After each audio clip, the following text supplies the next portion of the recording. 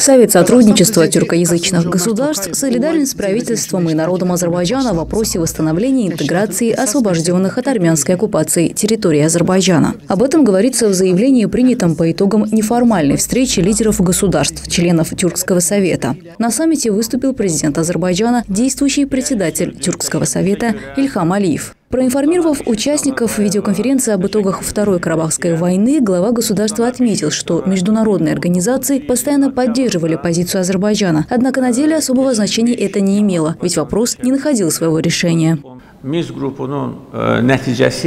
Для решения вопроса в 1992 году была создана Минская группа ОБСЕ, и хотя она действовала на протяжении 28 лет, результата не было, при том, что страны-сопредседатели Минской группы – это ведущие государства мира, ядерные державы, постоянные члены Совета Безопасности ООН. Конечно, если бы на Армению было оказано серьезное давление из-за оккупации и применены санкции с учетом требований Азербайджана, то вопрос давно мог найти свое решение мирным путем.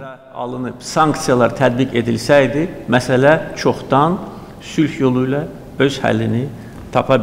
Однако, по словам Ильхама Алиева, этого не произошло. Напротив, были предприняты шаги, направленные на замораживание вопроса. Армения фактически отказалась от переговоров. Затем последовали очередные провокационные шаги руководства Армении, что свидетельствовало о том, что эта страна пытается втянуть Азербайджан в провокацию. Однако им это не удалось. В конце сентября военные позиции и населенные пункты Азербайджана в очередной раз подверглись артиллерийскому обстрелу, в результате чего погибли несколько военнослужащих и гражданских лиц. Противнику был дан адекватный ответ. Продолжение Продолжавшаяся 44 дня Вторая Карабахская война завершилась полной победой Азербайджана.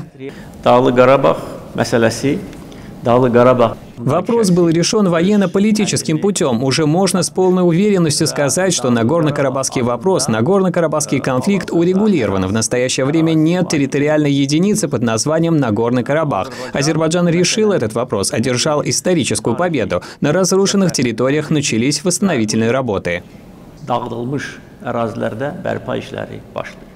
Говоря о победе, достигнутой в ходе Отечественной войны, глава государства особо подчеркнул политическую и моральную поддержку, оказанную Азербайджаном братской Турции с первого дня боевых действий, отметив, что она имела огромное значение. Президент Турции Реджеп Тайп Эрдоган, в свою очередь, поздравил Азербайджан с победой и подчеркнул важность восстановления освобожденных территорий.